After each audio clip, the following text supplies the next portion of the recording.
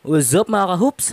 Justin Brownlee for Gilas Pilipinas naturalized player at former Alaska coach Alex Compton tutulong sa coaching staff ng ating national team.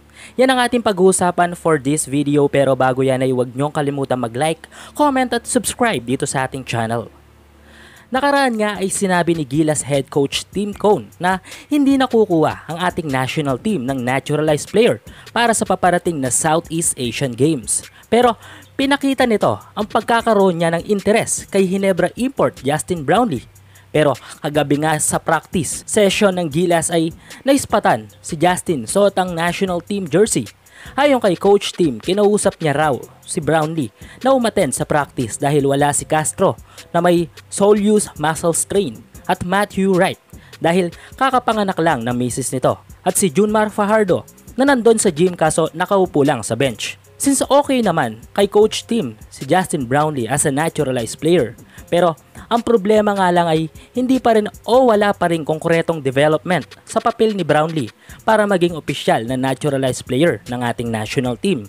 Hindi ko rin alam kung bakit medyo matagal ang proseso ng naturalization dito sa atin. Ang alam ko, nakarang taon pa yon na nilakad pero hanggang ngayon ay wala pa rin resulta. Samantalang ang Indonesia nga, pangalawang palit na nila ng naturalized player nakaraan lang wala pa yatang 3 months. Suot nga ni Justin Brownlee ang number 31 Gilas jersey. Ayon kay Brownlee ay hanggang ganda raw ng kulay ng jersey at sana raw ay masuot niya ito someday sa totoong laro.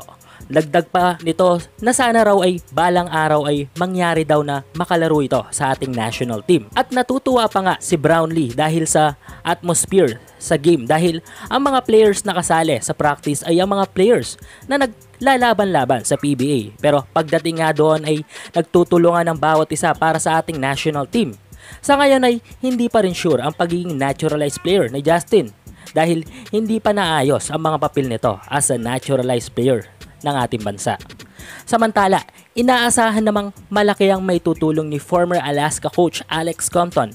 Hindi na bago kay Coach Alex na maging parte ng national team coaching staff dahil noong panahon pa ni Coach Tab Baldwin sa Gilas ay bahagi na doon si Coach Alex at pagkakapareho nila ni Coach Tim Alaska coaches. Kaya kung sakaling magiging opisyal ang pagsama ni Coach Alex Compton sa Gilas coaching staff ay malaki ang maitutulong nito. Siyempre, ganun din si Justin Brownlee kasi kaya man o hindi man ang mga makakatapat ng Gilas sa SEA Games. Kung gold medal ang goal natin na makuha ay the best pa rin kung full force ang lineup. Mas maganda ng makitang overkill ang mga kalaban kesa hindi makuha ang ginto. Di ba mga ka-hoops? So ayun, i-komento nyo lang ang inyong opinion regarding sa video natin na ito mga ka-hoops. Thank you for watching at God bless sa inyong lahat.